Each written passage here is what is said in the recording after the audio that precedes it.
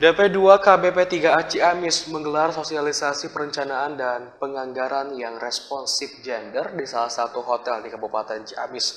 Sosialisasi ini bertujuan untuk mendorong, mengefektifkan, dan mengoptimalkan upaya pengarahutamaan gender secara terkoordinasi dan terpadu di Kabupaten Ciamis. Dinas Pengendalian Penduduk, Keluarga Berencana, Pemberdayaan Perempuan, dan Perlindungan Anak Kabupaten Ciamis menggelar sosialisasi perencanaan dan penganggaran yang responsif gender di salah satu hotel di Ciamis yang dihadiri oleh SKPD masing-masing dinas dan kepala desa. DP2KB P3A menghadirkan dua pemateri yaitu Dr. Antik Bintari yang menyampaikan materi tentang pemahaman konsep gender dan pengaruh utamaan gender, di mana konsep kebijakan publik yang mengkaji dampak tindakan kebijakan yang direncanakan termasuk peraturan perundang-undangan dan program bagi masyarakat yang berbeda gender. Pemateri kedua adalah Dr. Andes Mosyaiful Bahri yang membahas percepatan penyusunan PPRG Provinsi Jawa Barat.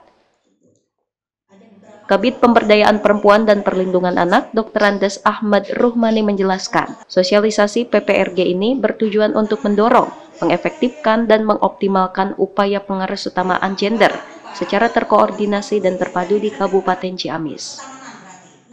Yang tujuan dari kegiatan ini dilaksanakan secara utamanya mendorong, mengaktifkan dan mengoptimalkan upaya pengasuhan gender secara terpadu dan terkoordinasi, terkoordinasi terutama dalam rangka penganggaran yang responsif gender itu tujuannya.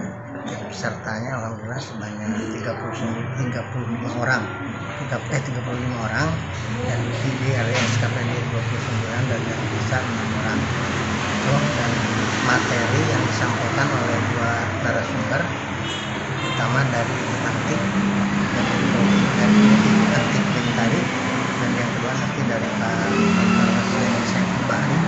itu untuk materinya Dengan adanya sosialisasi ini, diharapkan para peserta mengerti tentang penganggaran yang responsif gender. Dari Kabupaten Ciamis, Nur Rahman Radar TV melaporkan.